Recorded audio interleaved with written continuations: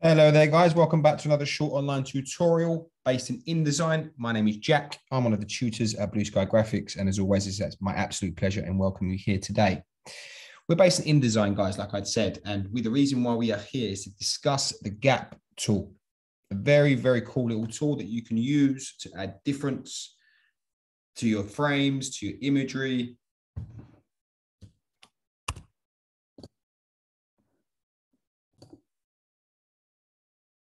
Hello there, guys. Welcome back to another short online tutorial. My name is Jack. I'm one of the tutors at Blue Sky Graphics. And as always, it's my absolute pleasure and welcome you here today.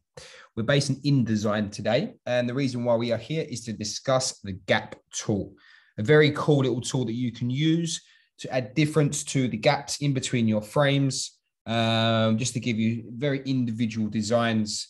Uh, yet again, increasing the aesthetics of your designs. Now, as you can see here, I've got an example in front of you here where we have different sized frames within one file here. And what I'd like to do today is show you how to do it. So what I've got to do here is I've got an A4 uh, page open up for me now to show you how to do it. So we got the frame tool here. Shortcut is the letter F. Now, if I start to draw out the frame tool, okay, I've still got my mouse pressed down.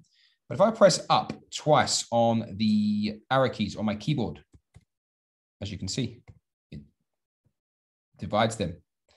And I'm probably going to say another one like so. And now, as you can see, I have four frames. Now, to place images within inside these frames, you can press Command D on Mac or Control D on Windows. And let's get four images here to use. I've already downloaded from Pexels. Okay. Now, as you can see, these four images now in a queue. So if I start to place them within the file that I into the frame that I would like them to go by simply clicking like so. Now, as you can see, the images haven't been placed correctly within the frames. Okay, and there's a couple ways that you can do it and sort that out. Is if you were to select everything like so using the select tool, if you right click, you have fitting as an option and you can fill your frame proportionally. Wait for it, and there you go. Or there is a new option that has been added to the InDesign uh, software, and that is this little icon here, which is content content aware fit. This is where InDesign helps you determining the best parts of the image to place them in the frame and also at the same time filling them proportionately, as you can see there.